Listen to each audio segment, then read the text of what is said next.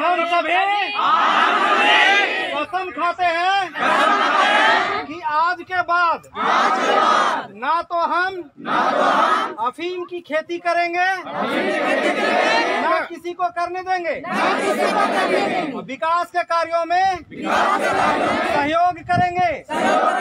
जय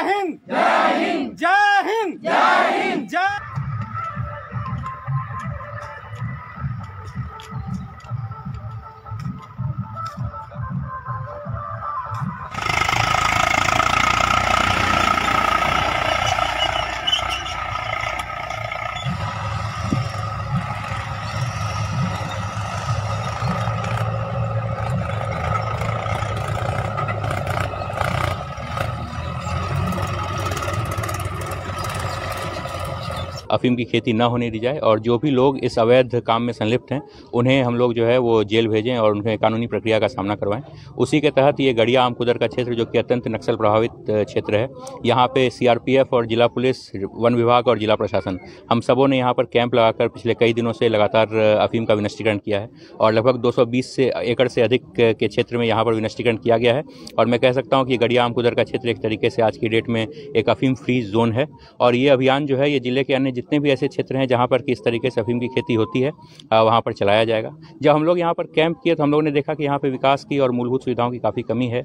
DC madam से हम लोगों की बात हुई और शी वॉज़ काइंड एनफ कि इन्होंने पूरे प्रशासन को लेकर ये आज यहाँ पर आई हैं और जनता की समस्याएँ हम लोगों ने सुनी है और समझी है और उम्मीद है कि यहाँ पर विकास की एक नई धारा जो है वो आज से शुरू होगी और इसमें लोग अफीम को छोड़कर लोगों ने संकल्प भी लिया है कि अफीम की खेती को छोड़कर गैर कानूनी गतिविधि को छोड़कर ये सभी लोग जो है हम लोगों का मुख्य धारा में आते हुए और विकास में साथ देंगे। कि जो भी खेती होती है, ये नक्सलियों को और नक्सल विचारधारा को फाइनेंस करने का काम करती है, परंतु जो लोग होते हैं, जो मासूम और जो निर्दोष लोग हैं, इनको एक तरीके से गुमराह करके इसमें प्रयोग किया जाता है। तो हम लोगों ने आज जागृत किया है, हम लोगों का आज का पर्पस एक अवेयरनेस कैंपेन का ही था यहाँ का। हम लोगों ने इन लोगों को जागृत किया है कि आप किसी भी इस तरीके के लोग या इस तरीके के लोग जो आपसे गलत ये काम करवा रहे हैं, इसके चक्कर में ना पड़ें और बिल्कुल जो कानूनी गतिविधि है, जो कानूनी रूप से आप जिसकी खेती कर सकते हैं, वैसा करें और अधिक से अधिक लाभ कमाएँ और आय कमाएँ। ये एक बहुत बड़ी चोट है और मुझे लगता है कि विथ हेल्प ऑफ़ सीआरपीएफ हम लोगों ने जो किया है यहाँ पर आ, ये विगत कुछ सालों से इस क्षेत्र में नहीं हो पाया था। जाइए। फिर और लोग आएँगे धीरे धीरे। जाइए। चलो दादी चलो। धीरे धीरे जाओ। देख के भी कि सभी पदाधिकारी जिला के वरीय पदाधिकारी भी आज यहाँ पे पहुँचे हैं। लोगों में बहुत उस चीज़ का उत्साह है। इस वजह से लोगों ने बहुत सारी समस्याएँ, जैसे प्रेग्नेंट महिलाएँ, इन लोगों ने बताया क्योंकि सड़क नहीं थी तो जाती हैं तो रस्ते में बहुत सारी समस्याएँ अबॉर्शन की भी देखी गई हैं। डिलीवरी के समय बड़ी समस्याएँ होती हैं। तो इन्हीं सब चीज़ों को ध्यान में रखते हुए हमने यहाँ के जो बी डी हैं, उनके द्वारा, उनके माध्यम से जितने भी पैचेज हैं जहाँ पे नदी पार करनी है पुल पुलिया की आवश्यकता है रोड की आवश्यकता है वो सभी प्रपोजल्स को लेके हम लोग अगले एक से दो महीने में सभी प्रपोजल पास करवा के जिला से यहाँ पे जितना विकास हमारे यहाँ से संभव होगा, मदों में जितना पैसा है, वो सभी हम लोग यहाँ पे इस गाँव तक पहुँचाएँगे। इसके तहत हम लोगों ने लोगों में जागरूकता भी फैलाई है ताकि लोग में भी ये वाली इच्छा बन सके कि हम लोगों को अफीम की खेती से बाहर निकलना है और कुछ और विकास की योजनाओं की तरफ़ हम लोगों को उसका लाभ उठाते हुए आगे बढ़ना है।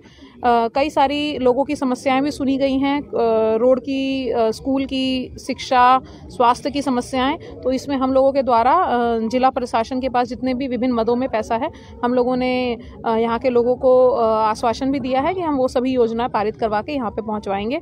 और स्वास्थ्य और शिक्षा की जहाँ तक बात है, उन वाले इंफ्रास्ट्रक्चर को भी हम सुदृढ़ करते हुए इन सभी योजनाओं का लाभ पहुँचाएँगे। तो ये वाला जो हमारा इस साल का पूरा अफीम की खेती नष्ट करने की प्रक्रिया है, ये बहुत अच्छे से चली है और आगे कुछ एक महीने का हमारे पास लगभग और समय है। तो जितने भी हमारे ऐसे सभी गढ़ हैं जहाँ पे बहुत ज़्यादा पिछले कुछ सालों में खेती होते हुए आ रही है, वहाँ पे हम लगातार नष्ट करते रहेंगे और बहुत सख्ती से पुलिस के द्वारा भी विभिन्न केसेस के माध्यम से लोगों पे कंट्रोल पाया गया है। तो